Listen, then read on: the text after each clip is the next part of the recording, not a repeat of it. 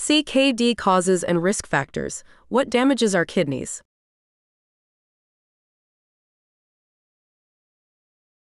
Chronic kidney disease affects 15% of adults globally, yet many are unaware of the key risk factors that can lead to CKD. This video describes the most common causes and contributors that place individuals at risk for chronic kidney disease, including diabetes, high blood pressure, genetics, age, ethnicity, and certain lifestyle habits. The number one cause of chronic kidney disease is diabetes, which accounts for nearly half of new CKD cases.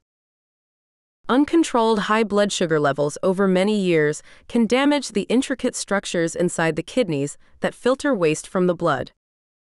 Keeping blood sugar tightly controlled can dramatically reduce the risk of diabetic kidney damage.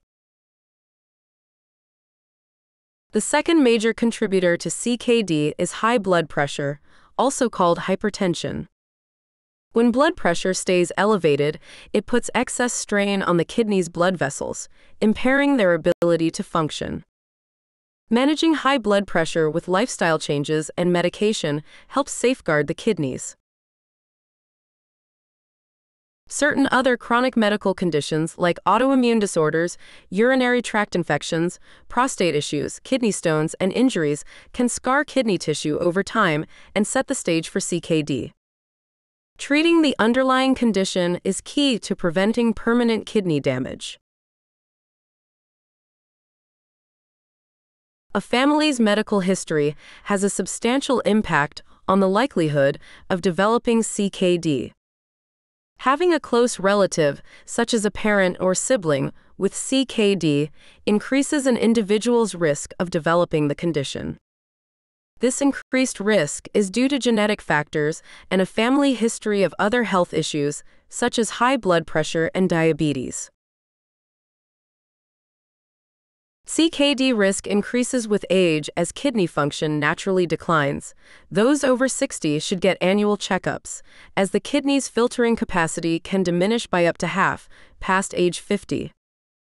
Ethnicity can also influence CKD risk with some communities facing higher predisposition due to genetic factors and healthcare disparities. Having an unhealthy lifestyle, such as being inactive, significantly heightens the risk of developing CKD. Smoking damages blood vessels, worsening kidney problems. Obesity and a lack of physical activity can lead to diabetes and high blood pressure, both major factors in developing CKD. To reduce these risks, individuals are advised to stay at a healthy weight by exercising regularly, quit smoking, and cut down on alcohol consumption. The best way to treat CKD is managing any existing conditions, maintaining a healthy lifestyle, getting regular checkups, and catching any kidney abnormalities early. Talk to your doctor right away if you have any risk factors. Small changes can have a big impact on kidney health.